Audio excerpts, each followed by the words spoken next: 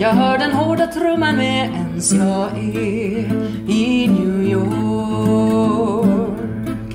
Och det var natt vi skulle just gå hem klockan tre i New York.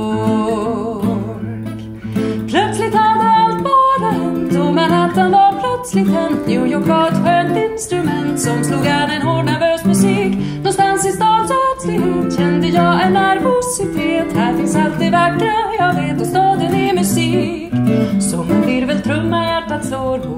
dig som en sång i New York.